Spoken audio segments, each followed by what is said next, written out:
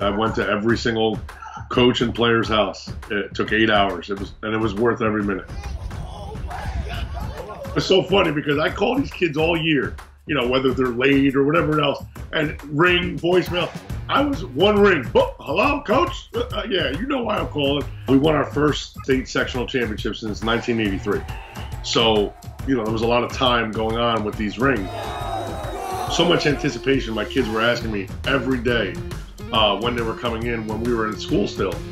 Of course, they came in when we were two weeks into the uh, COVID quarantine. They were sitting on my dining room table forever. Um, my wife was pushing me. My my my equipment manager was pushing me. Like, hey, let's find a way. Let's find a way. And I just woke up on that Sunday and I said, you know what, we're gonna do it. Giving these rings out, giving these kids what they deserve. 36 years in, in the making, and uh, you know what?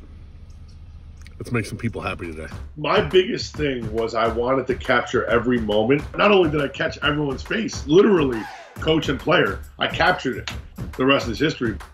The wins are awesome, and, and, and it comes that's part of it. But the the family orient the family orientation, the groups coming together, everyone happy and positive is the best part about it. I'll tell you right now, when this is all over, we're still gonna have a ceremony. We're gonna get together and you know, do something. I got to give those kids hugs, you know.